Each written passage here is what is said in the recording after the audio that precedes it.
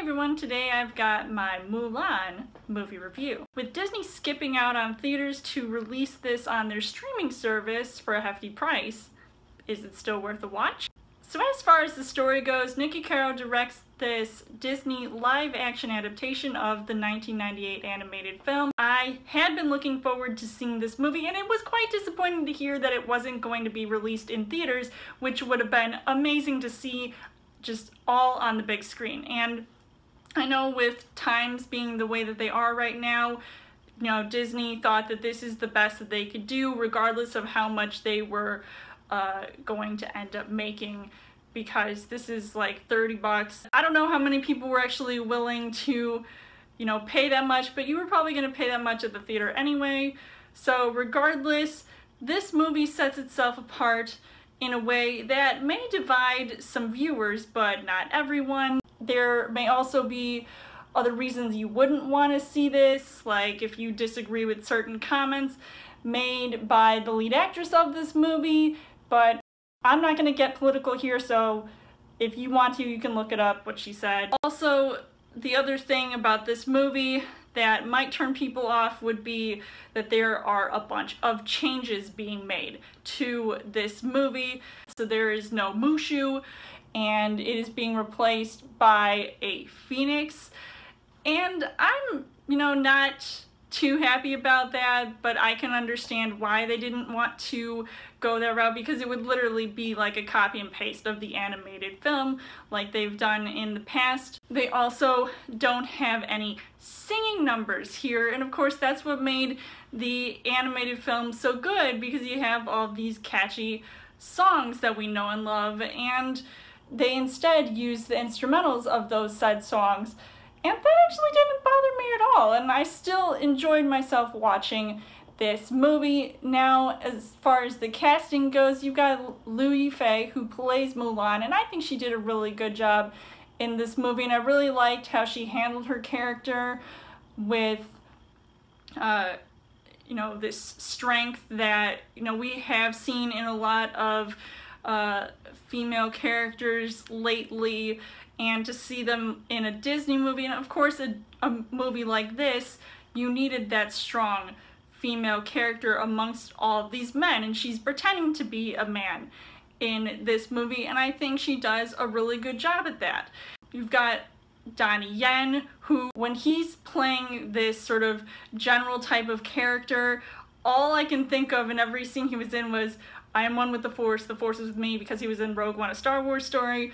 So of course he's, you know, stuck around with the Disney family. You've got Gong Li, who I was really excited to see in this movie because she plays uh, this sorceress witch and she turns into a bird and she's just absolutely beautiful in this movie.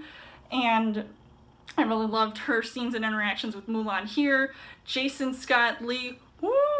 Now, if there was a hotter villain in this movie, it has to be him, and he plays a pretty decent bad guy. Let me tell you, as Bori Khan, uh, and the leader of all of these black-clad warriors who are not known as the Huns, I think, you know, it was really cool to see him in this movie as well. And Yoson An, who is this movie's Li Shang, in even though he's not that character like we saw in the animated movie, he was still a good addition to this story. He was just pretty awesome as well. And you might even get a Ming Na Wen cameo. And if you don't know who that is, she voiced the animated Mulan. So I thought that was really nice as well. The things that I liked about this movie was obviously since the first trailers came out, the beautiful cinematography. I just thought this movie was very beautifully shot. The art direction and the costume design were also top notch because you know how Disney likes to have their colors pop in their movies. So it was just absolutely jaw-dropping and eye-popping. And the stunts and the fighting styles were just so cool to watch uh, unfold on screen. And of course the use of the slow-mo action worked some of the time. And even though it kind of, you know, worked in the movie Aladdin, I feel like here, you know, it was kind of a bit much at times, but it wasn't completely distracting in the end. And there is this powerful message that you can take away from the movie where you can be true to yourself, you know, kind of like that song True to Your Heart from the OG Mulan. And I love how they emphasize on that with the characters' actions. But unfortunately, the things that I didn't really like about this movie uh, was that Jet Li, who plays the Emperor in this movie, he definitely sounded like he was dubbed. And it's really a shame because he is it's doing such a huge disservice to his acting prowess. And i know like and i really don't understand why they did that but it's just it's mind-boggling to me.